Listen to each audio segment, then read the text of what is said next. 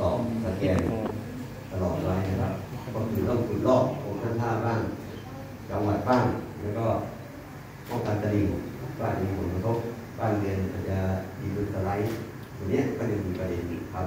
เรื่องปากน้แต่ประเด็นยังไม่หมดถ้าท่านมาหน้าฝนนะครับชุดเอ่อทองอันนี้ท่าตะเภานะครับที่ท่าแซะมีรับรอดมันมีคลองชุมพรเส้นนะครับคลองชุมพรมันมาจากฝั่งระนอง นะครับติดชายแดนระนองและท่วมทุกปีท่วมแยก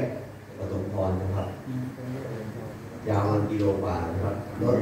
ไม่ต้องไม่ต้องไปง่ายๆชนะอัมพาตร้อยเปอร์เซ็นต์นะครับ บอกบอกว่าได้เลยนะครับ ยกเว้นรถสิบล้อไม่ได้นะครับนี่ไม่ได้นะครับ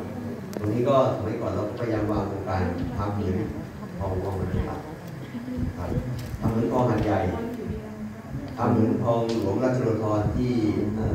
าคตะวันออกคล้ายๆกันนะฮะคลองนฤบดินทจินดาเป็นน้ำต่างๆทำคล้ายๆกันนะครับ ก็คือเบียดมือจันทร์